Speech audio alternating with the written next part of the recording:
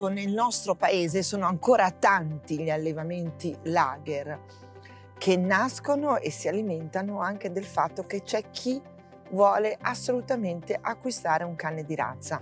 Noi in ogni modo diciamo a tutti coloro che ce lo chiedono che in questo caso bisogna rivolgersi solo ed esclusivamente agli allevatori ENCI, a quelli che hanno il cosiddetto affisso e che quindi danno delle garanzie e anche recentemente c'è stato un altro caso, quello dell'allevamento di Casaluce nel mezzogiorno, che una volta di più ha dimostrato quanto sia un fenomeno da debellare quello degli allevamenti lager. Erano centinaia i cagnolini che vivevano in quel luogo in una condizione terribile, chiusi in piccole minuscole gabbie, senza nessun contatto con il mondo esterno, completamente traumatizzati. Bene, li abbiamo salvati, noi di Leida e tante altre associazioni, tutti insieme, una grande operazione collettiva, i volontari sono intervenuti e i Cockers Angel, che come dice appunto il loro nome, si occupano dei cocker in difficoltà,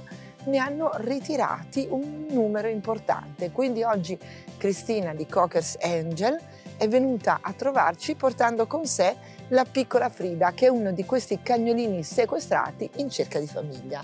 Benvenuta certo. Cristina, parlaci di Frida. Lei ha circa tre anni, è un'ex fattrice, nonostante sia assolutamente sottotaglia, probabilmente avrà partorito dei cuccioli che erano più grandi di lei, li avrà pure allattati.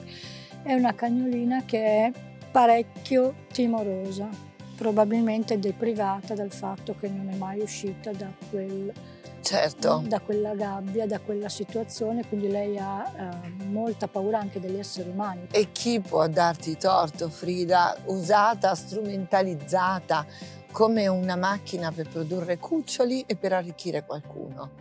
Qualcuno che adesso non farà più questo mestiere e tu troverai una bella famiglia. Frida ha bisogno del vostro aiuto per conoscere il mondo e il vostro amore. Quindi allora Cristina, diamo subito il numero di telefono per adottare questa meraviglia. Il numero di telefono è 338 490 9972.